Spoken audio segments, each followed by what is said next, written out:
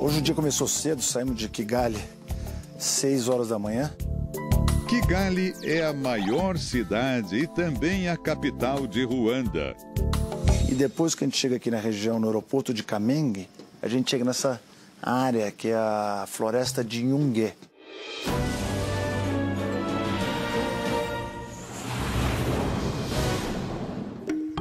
A floresta tropical de Nyungwe é uma das mais bem preservadas da África. Fica em uma região de clima ameno, sem aquele calorão típico do continente. Região montanhosa, que é conhecida como a Suíça da África. Olha que agradável esse lugar. Álvaro Garneiro está hospedado em um hotel cinco estrelas, construído há menos de um ano. Uma construção encravada no meio da floresta. A integração é tão grande com a natureza que o hotel promove passeios pela montanha atrás dos chimpanzés selvagens. Aqueles mesmos que o Álvaro conheceu há algumas semanas. É muito detalhe e é muito bonito e muito elegante. Olha que área linda. Você vê aqui, parece que é um precipício. Você chega aqui, você vê que tem uma mata nós estamos a quase dois metros de altura, uma mata infinita, alta, muito verde. Tanto luxo e conforto que custam em média 7 mil reais a diária por pessoa. Um lugar com um conceito diferente quando o assunto é alimentação. É um hotel que não tem cardápio. Ou seja, o menu é montado de acordo com a preferência e as necessidades de cada hóspede. Quem comanda a cozinha por ali é o chefe Justin, que passeia com Álvaro pela horta orgânica do hotel. E o que ele não tem aqui, ele compra da comunidade local. E olha que inspiração não faltou para o chefe Justin. Ele trabalhou um dos melhores chefes do mundo, chama Gordon Ramsay.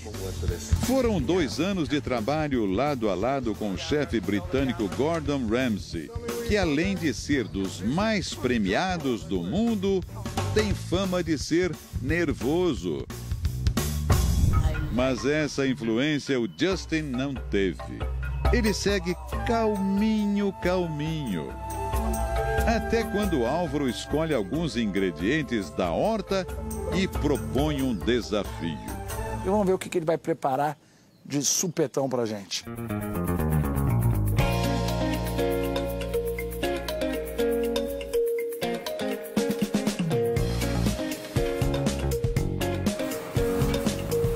A explosão do aroma. Nossa. Lá pro deck, naquela vista maravilhosa, e vou esperar ele trazer a minha salada que a gente acabou de pegar ali no jardim, na horta. Olha lá. Nó. Olha o que ele fez. Que espetáculo. Uma salada de beterraba com brócolis, além de outros legumes e vegetais colhidos ali mesmo. Hum. Cadê ele? Vou chamar ele aqui e dar um beijo nele. Nossa, que delícia. O lugar montanhoso tem viradas de clima constantes. Em poucos minutos, o tempo fecha e a chuva cai forte. A 10 minutos aqui do hotel tem um vilarejo chamado Kisakura. A gente vai entender um pouco dos costumes locais, da cultura e dos esforços que esse povo teve na reconstrução desse país.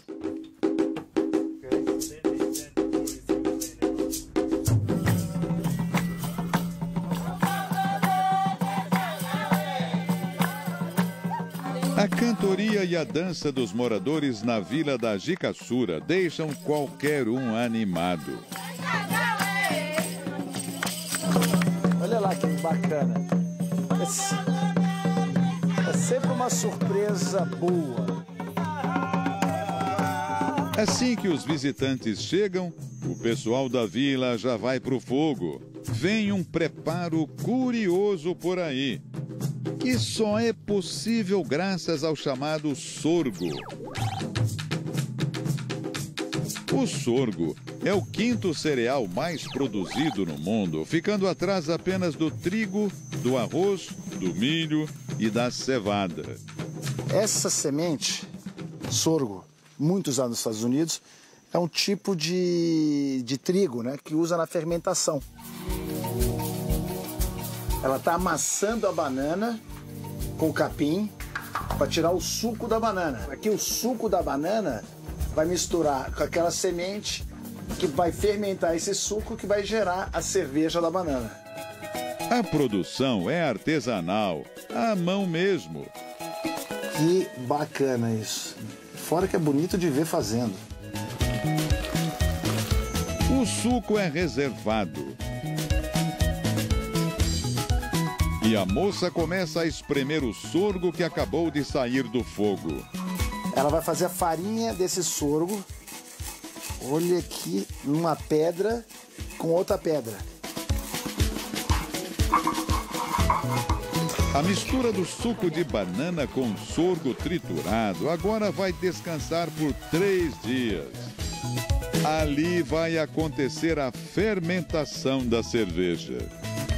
Eles fecham esse recipiente, colocam a casca, o capim, um monte de folha de banana, porque quanto mais quente, menos circulação de ar tiver aqui, mais rápido ah, o suco da banana vai ser fermentado e vai virar cerveja. Depois de três dias, ele já tinha uma, uma amostra ali, sai a cerveja de banana. Ela tem uma cor mais escura, cor de caramelo, um marrom.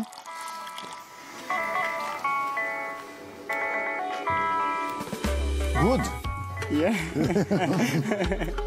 O teor alcoólico da cerveja de banana é de 7%. Maior do que as cervejas comuns, cujo índice fica em 4,5%. Gostei da experiência. Não sabia que existia cerveja de banana e muito menos do jeito que eles faziam aqui, com essa semente de sorgo.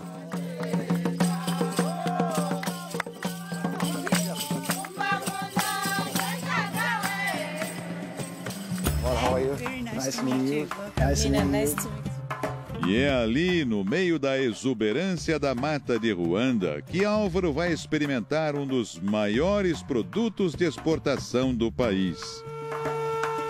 Mas antes vai ter que colher. Vocês estão vendo que eu estou com uma cesta aqui atrás e com a minha amiga.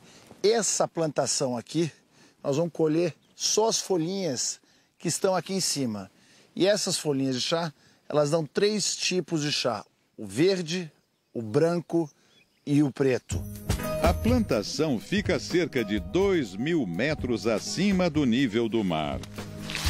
Abaixo disso, o chá, essa planta aqui não cresce.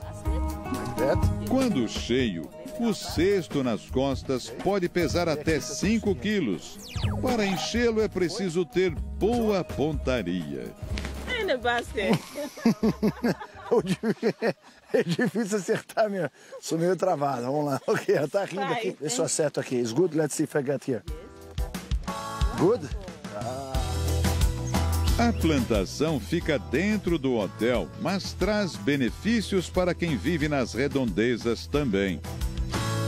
O pessoal da comunidade vem, colhe e leva aqui para uma fábrica de chá e o dinheiro fica para as pessoas que colheram, não para o hotel. Então isso é um tipo de um trabalho social que eles ajudam aqui a comunidade.